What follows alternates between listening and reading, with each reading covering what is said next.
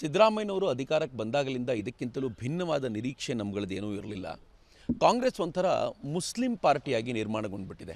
ಅವರಿಗೆ ಕಾನೂನಿನ ಮೇಲೆ ವಿಶ್ವಾಸ ಇಲ್ಲ ಅಥವಾ ಕಾನೂನು ಹೇಳಿದ್ದನ್ನು ಒಪ್ಕೋಬೇಕು ಅನ್ನುವಂಥ ಯಾವುದೇ ಧಾವಂತವೂ ಇಲ್ವಾ, ಇಲ್ಲ ಅಥವಾ ಒಟ್ಟಾರೆ ಅವ್ರಿಗಿರೋದು ಒಂದೇ ಒಂದು ಏನು ಅಂತಂದರೆ ಹೇಗಾದರೂ ಮಾಡಿ ಮುಸ್ಲಿಂ ವೋಟ್ಸನ್ನು ತಮ್ಮದಾಗಿಸ್ಕೊಳ್ಬೇಕು ಅನ್ನೋ ದೃಷ್ಟಿಯಿಂದ ಕಾಂಗ್ರೆಸ್ ಒಂದು ಮುಸ್ಲಿಂ ಪಾರ್ಟಿಯಾಗಿ ಪರಿಣಮಿಸಿದೆ. ಸುಮ್ಮನೆ ಹೇಳಬೇಕು ಅಂತಂದರೆ ನಾವು ಶಿಕ್ಷಣ ವ್ಯವಸ್ಥೆಯನ್ನು ರೂಪಿಸಿರೋದು ಹೇಗೆ ಅಂತಂದರೆ ಕಳೆದ ಅನೇಕ ವರ್ಷಗಳಿಂದ ಸ್ವಾತಂತ್ರ್ಯ ಬಂದಲಾಗಾಯಿತು, ನಾವು ಹೆಂಗೆ ಮಾಡಿದ್ದೀವಿ ಅಂತಂದರೆ ಅದು ಸಾರ್ವ, ಸಾರ್ವತ್ರಿಕವಾಗಿರಬೇಕು ಎಲ್ಲರೂ ಈಕ್ವಾಲಿಟಿಯನ್ನು ಅಲ್ಲಿ ತೋರಿಸುವಂತಾಗಬೇಕು ಜಾತಿ, ಮತ, ಪಂಥಗಳನ್ನು ಮೀರಿ ಶಿಕ್ಷಣವನ್ನು ಕೊಡುವಂತಾಗಬೇಕು ಅನ್ನೋ ದೃಷ್ಟಿಯಿಂದ ಎಲ್ಲವನ್ನೂ ವ್ಯವಸ್ಥೆ ಮಾಡಿಕೊಂಡಿದ್ರೆ ಅದಕ್ಕೋಸ್ಕರವೇ ಒಂದು ವಸ್ತ್ರ ಸಂಹಿತೆಯನ್ನು ಜಾರಿಗೆ ತೆಗೆದುಕೊಂಡು ಬಂದು, ಆ ವಸ್ತ್ರ ಸಂಹಿತೆ ಅಡಿಗೆ ಎಲ್ಲರೂ ಸಮಾನವಾಗಿದ್ದಾಗ ಈ ಹಿಂದೆ ಹಿಜಾಬ್ ಹಾಕ್ಕೊಂಡು ತಿರುಗಾಡುವಂಥ ಗಲಾಟೆಯನ್ನು ಪಿ ಎಫ್ ಐ ಶುರು ಮಾಡ್ತು.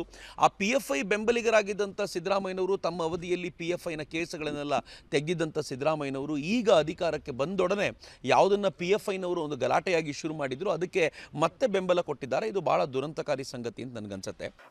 ಬೆಂಗಳೂರಿನಿಂದ ಮಂಗಳೂರುವರೆಗೆ. ಬೀದರ್ನಿಂದ ಚಾಮರಾಜನಗರದವರೆಗೆ. ನಿಮ್ಮ ಸುದ್ದಿ ನಿಮ್ಮದೇ ಭಾಷೆಯಲ್ಲಿ. ಕರ್ನಾಟಕ ತಕ್.